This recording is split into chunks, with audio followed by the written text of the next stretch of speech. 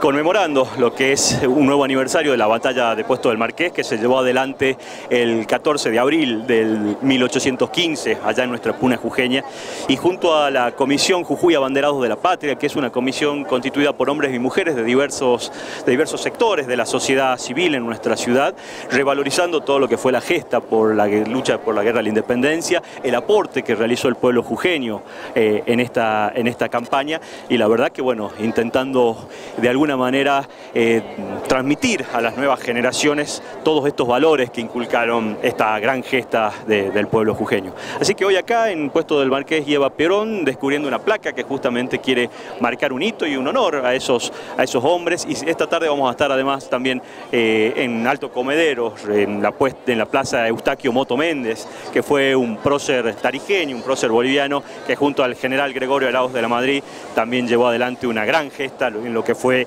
la batalla de la tablada de, Tolomosa, allá en Tarija, consolidando lo que era la frontera norte en aquel entonces. Acompañando este acto del municipio es importante remarcar las fechas valiosas para la historia de Jujuy,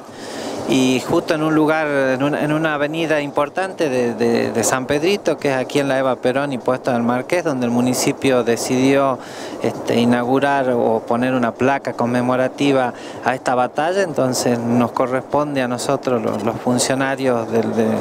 del, municipio y concejales acompañar, estar presente, mantener viva la historia y fortalecer también el conocimiento de la historia hacia los vecinos, hacia los ciudadanos, de que tienen que